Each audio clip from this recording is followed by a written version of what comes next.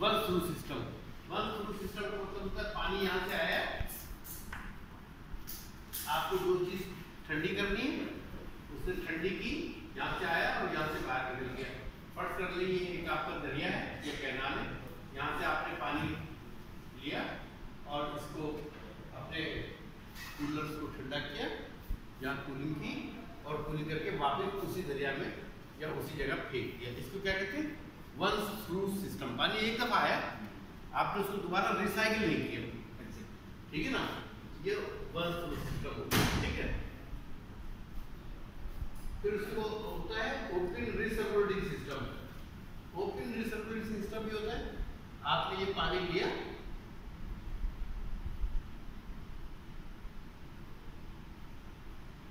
यहाँ से पानी आया ये आपका कूलिंग टावर है यहाँ से पानी लिया आपने और लेने के बाद उसने अपना काम किया और इसको दोबारा अपने कूलिंग टावर में ले गए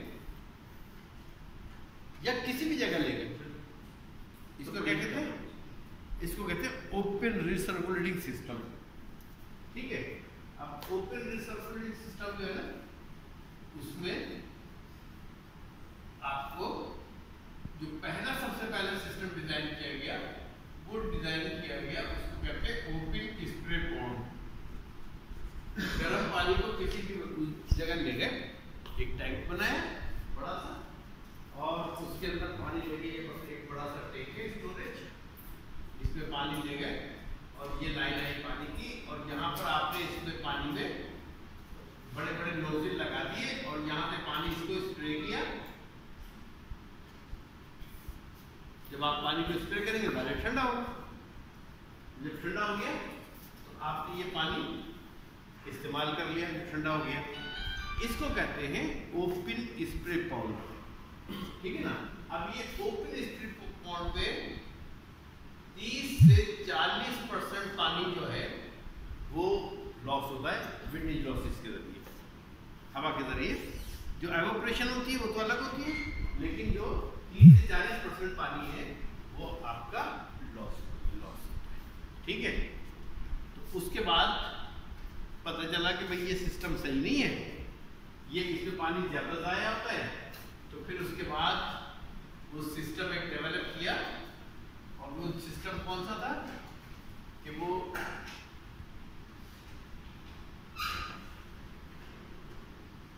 ये पानी को ऊपर से शावर किया और यहाँ पर नीचे एक पंखा लगा दिया उसको कहते थे एवरी फ़ैन यानी फोर्स ड्राफ्ट फ़ैन हवा अंदर से आई रुक गई और ऊपर से पानी शावर हो रहा है इनके ऊपर निकल गई उसको कहते थे फोर्स ड्राफ्ट फ़ैन क्या कहते थे फोर्स ड्राफ्ट फ़ैन ठीक है ना? पंद्रह में ये फोर्स ड्राफ्ट फ़ैन जो है इसमें भी काफ़ी पानी जाया होता है। चलो, चालीस परसेंट नहीं होता है, पच्चीस परसेंट होता है। अब पानी का अगर दुनिया भर में क्राइसिस आ रहा है ना। तो साइंटिस्ट जो है, उन्होंने कहा कि भाई, ये भी इतना ज़्यादा इफ़ेक्टिव नहीं है। अब इसके बजाय हमें कौन सा करना चाहिए? कोई ऐसा कि जिससे पानी जो है, वो कम ज़ाया हो। फिर दूसरा आ गया उसका नाम रखा इंड्यूस ड्राफ्ट पहले पंखा यहाँ था अब पंखा कहाँ लगा दिया? ये ऊपर। ऊपर लगा दिया फ़ैन इसका नाम क्या रखा? IT fan induce draft fan पानी को ऊपर से आ, पानी को शावर किया। ये पानी भी शावर हो रहा है। और यहीं से एयर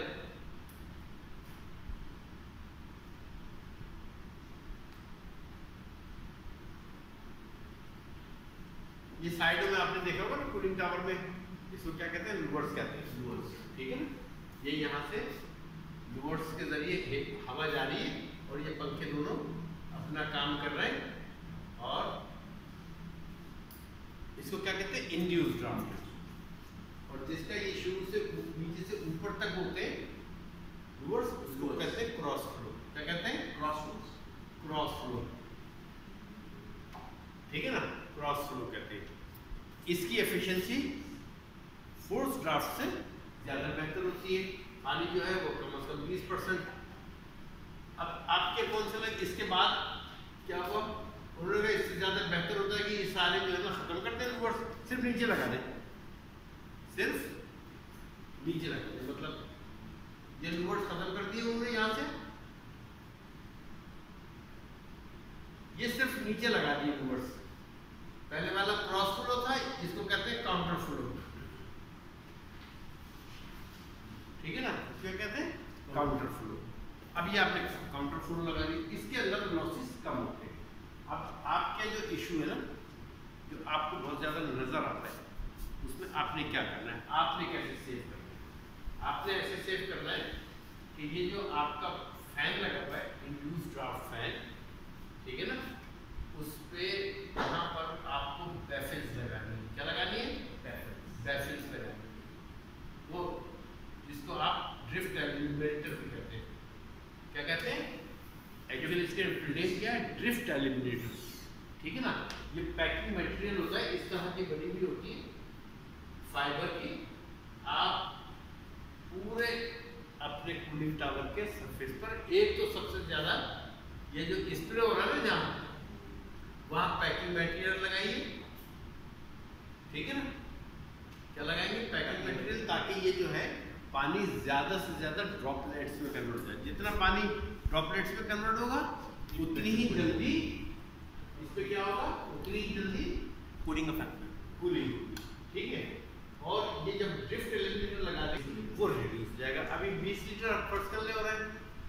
जो 10 लीटर हो जाएगा। और ज़्यादा बेहतर वो लगाएँगे। ऐसे लगाएँ, इसमें इतना कम होना चाहिए, जगह ये इस शेप पे आ जाए।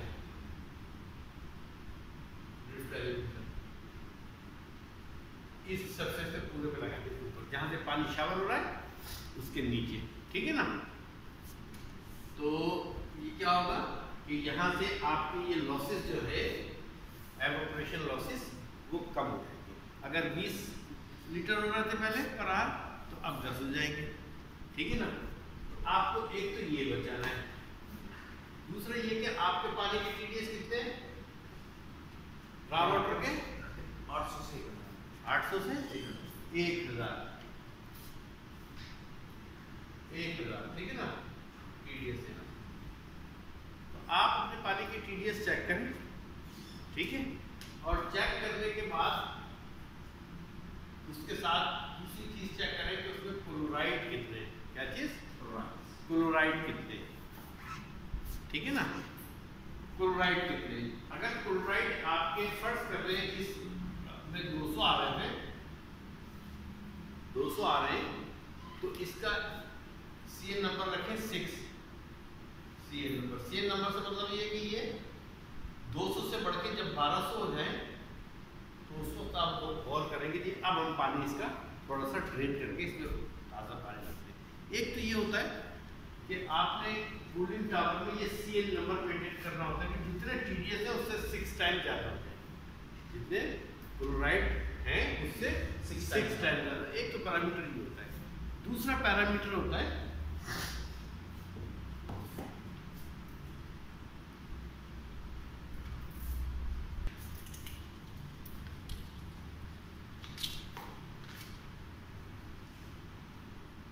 ईपीएम ईपीएम क्या कहता है ईपीएम को मतलब क्या है इक्विवेलेंट पार्ट्स पर मिलियन ठीक है इक्विवेलेंट पार्ट्स पर मिलियन ठीक है?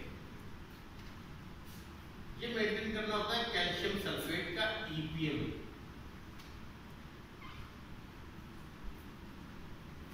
calcium sulphate in EPM EPM कैसे कैलकुलेट करते हैं? ठीक है ना?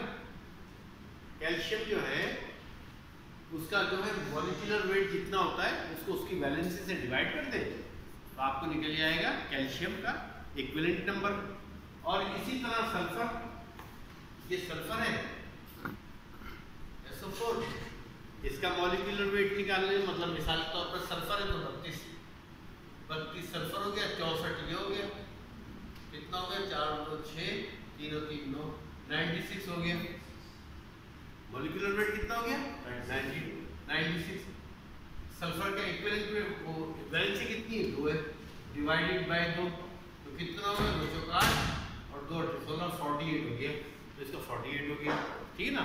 तो आपको इसका ईपीएल मेंटेन करना लेस देन 500 तो ये आपके लिए थोड़ा सा मुश्किल है। ज़ाहिर आपके केमिस्ट हो सकता है। अभी इतने एक्सपर्ट नहीं हो कि जो वो कर ले। तो इसमें आसान सबसे ज़्यादा क्या है आपके लिए? कि आप सीएन नंबर मेंटेन कर ले किसके? Chlorides. क्लोराइड के। क्लोराइड जब 200 है, अगर आपके पानी में तो जब ये 1200 हो जाए तो अब आप गौर करें कि यार अब थोड़ा सा पानी इसमें से हम निकाल दें। ठीक है? तो ये निकालने से क्या होगा? आपके सेल नंबर कम हो जाएगा। या ना हो। अब आप अपने पानी की जो है, वो पीएच में पानी की पीएच कूलिंग टावर की कितनी मेंटेन करें? 6.9 और मैक्सिमम रखें 7.0 कितनी रखें? जब आप ये रखेंगे तो आपका जो सैचुरेशन इंडेक्स है आईएस वो स्लाइटली पॉजिटिव आएगा। अब मेरा ख्याल है आप क्या केमिस्ट है आपकी क्या केमि वो है आपकी एजुकेशन बेटा? क्या किया हुआ है आपने? BSc Chemical Engineering. Chemical engineering की हुई है। आपने भी? दोनों ने? फिर तो करना चाहिए भैया। हैं?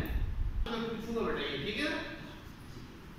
अब मैं पीएच मेंटेन करने के लिए तो मैंने आपको बताया था, ये समझ के कि शायद आप लोग आपके एमएससी नहीं है।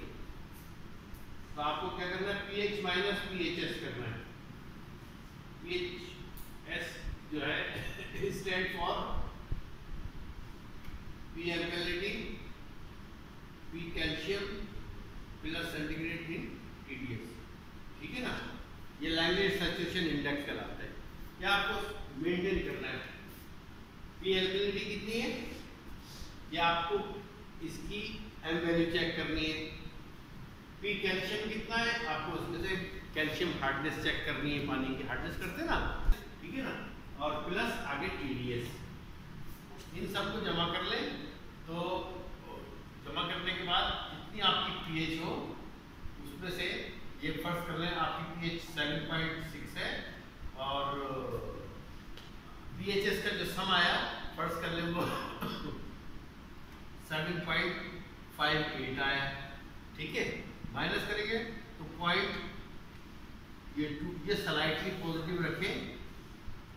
भले आपके पानी के टी डी एस पाँच हज़ार, आठ हज़ार हो जाए, जितने भी हो जाए, आपका कूलिंग टावर और आपकी तमाम जो पाइपिंग जो कूलर जो भी कुछ है स्केल बिल्कुल हंड्रेड परसेंट सेफ़ रहेगा। स्केल भी नहीं आएगा। कुछ भी नहीं होगा। स्केल कब आएगा? स्केल आएगा स्कैनिंग कब होगी? स्कैनिंग होगी कि जो मैंने आपको कहा है स्लाइटली पॉजिटिव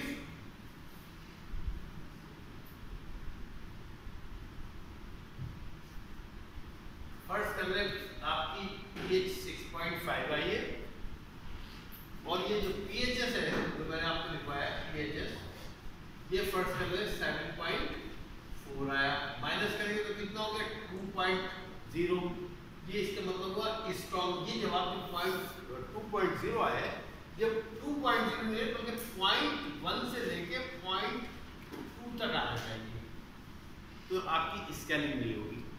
ठीक है? और सिस्टम महफूज रहेगा। लेकिन अगर ये पॉजिटिव स्ट्रॉन्ग पॉजिटिव आएगा तो इसका मतलब है आपका पानी अंदर स्केलिंग हो रही है। ठीक है? तो आप सबसे इसका और आसान तरीका जो बताया कि 7.0 या 6.9 pH मेंटेन करें अपने कूलिंग वाटर ठीक है तो आपका सिस्टम अंदर बिल्कुल सही रहेगा और दूसरा आसान तरीका और। प्रेसर तो नहीं होगा. हैं? प्रेसर तो नहीं होगा. है. नहीं नहीं नहीं प्रोविज़न कब होगा कि जिस तरह मैंने आपको बताया ना कि ये आपका स्लाइटली पॉजिटिव आना चाहिए ठीक है ना?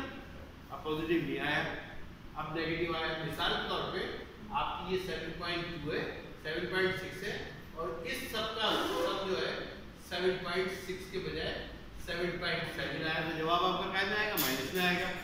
जब माइनस में आएगा तो फिर क्या होगा?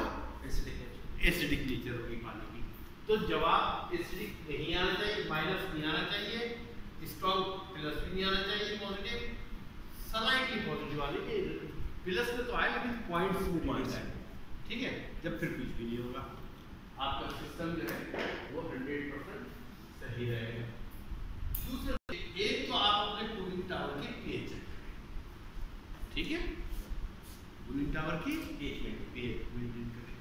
और दूसरे, उसकी एम वैल्यू यानी टोटल अल्कलिनिटी ये मेंटेन करें। ठीक है? ये मेंटेन करेंगे एम वैल्यू ये भी आपकी वन से not greater than one one से ज़्यादा नहीं होना चाहिए। ठीक है?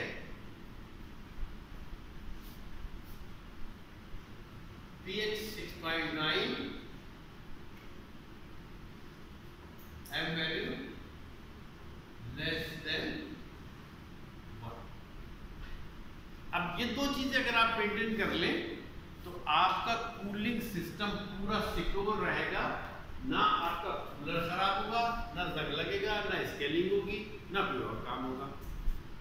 ठीक है? ये ये आपको काम करना। अब यहाँ तक जो अगर किसी को समझ नहीं आ रहा तो सवाल समझ में नहीं आ रहा तो टोटल एल्कलिनिटी थोड़ा सा टोटल टोटल एल्कलिनिटी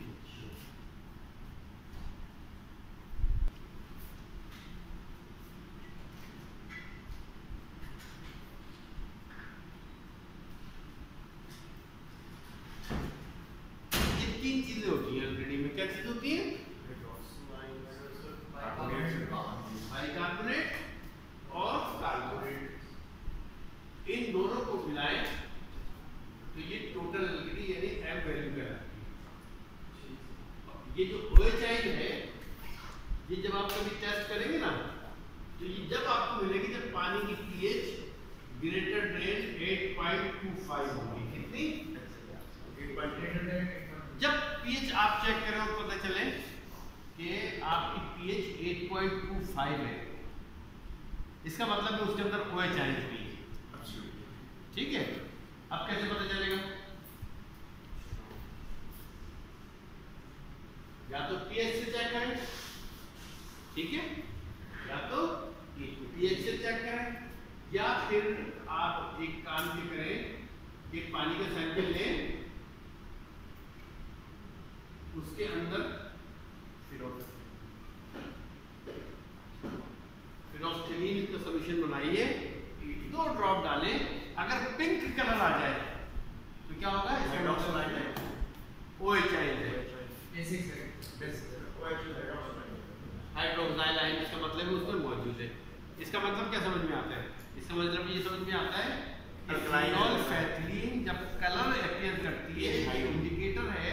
ये इंडिकेट करेगी अगर पिंक कलर होगा तो ये बता रही होगी हमें कि पानी के अंदर हाई पीएच है। ऐसी होगा ना? ओ एच आई ज़ाहिर है सेवन पॉइंट से ज़्यादा ऊपर जाते तो आएगी। अल्कलाइन अच्छा अब फ़र्स्ट कर ले उसके अंदर वो भी नहीं है। आपने फिनोल्फेथलीन डाला पानी की पीएच भी। 8.25 से कम है। तो फिर आप क्या चेक करेंगे? फिर आप देखेंगे कि इसके अंदर बाइकार्बोनेट ठीक है? अब बाइकार्बोनेट चेक करने के लिए आपको क्या चाहिए? वो मिथाइल पर्पल हैं? मिथाइल पर्पल मिथाइल पर्पल नहीं चाहिए आपको? या मिथाइल ऑरेंज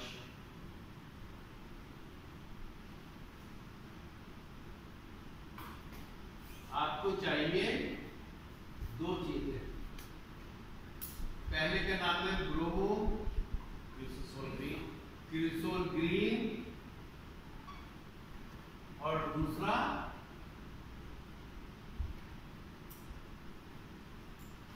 मिथाइल रेड इन दोनों का सोल्यूशन बनेगा। काय में बनेगा?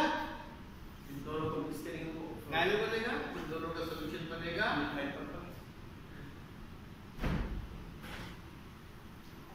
purple methanol slightly acidic with आगे समझ गए आपको क्या बनेगा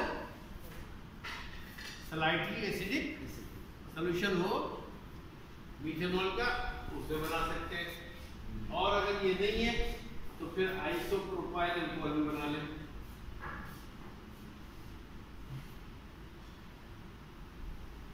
आइसोप्रोपाइल अल्कोहल भी बना लें आगे समझ में बात। हम्म? दो सौ परसेंट।